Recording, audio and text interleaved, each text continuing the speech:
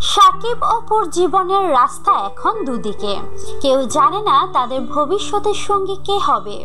তবে অপু ইতিমধ্যে জানিয়েছেন, অপু বিশ্বাস আর জীবনে বিয়ে করবেন না।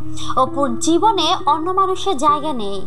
তার মানে এখনও বোঝা যাচ্ছে সাকিবকে তিনি ভালোবাসেন। শুধুমাত্র সাকিবের ব্যবহারের জন্য অপু নিজে থেকে দূরে সরে চলে এসেছেন। অপু যদি চাইতো, জোর করে সংসার করতে পারত। যেহেতু বাংলাদেশের নারী আইনটি অনেক করা আর দেনমোহরের এক কোটি সাত লাখ টাকা ক্ষমা না করতেন, তাহলে সাকিবের অবস্থা খুবই খারাপ হতো।